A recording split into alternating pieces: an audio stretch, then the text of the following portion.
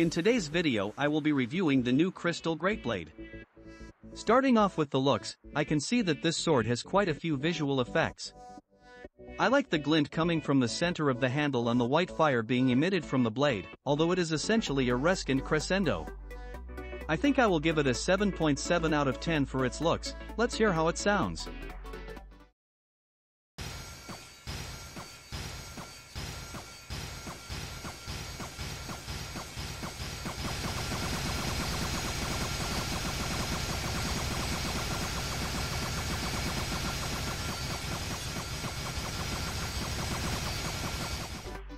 Wow, that is very good, I love how long it lasts far away, although it is still good in clashes, I'm going to give it a very high 9.3 out of 10.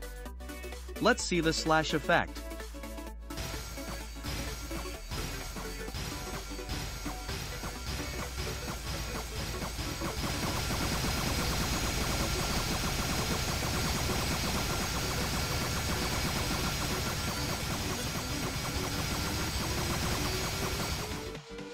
That is quite good, almost like the Ethereal Azure Reckoner but a winter sword. For the slash effect I will give it an 8.7 out of 10.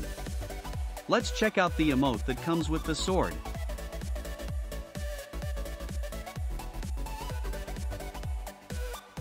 Wow, that was just amazing, probably the best sword emote I have ever seen.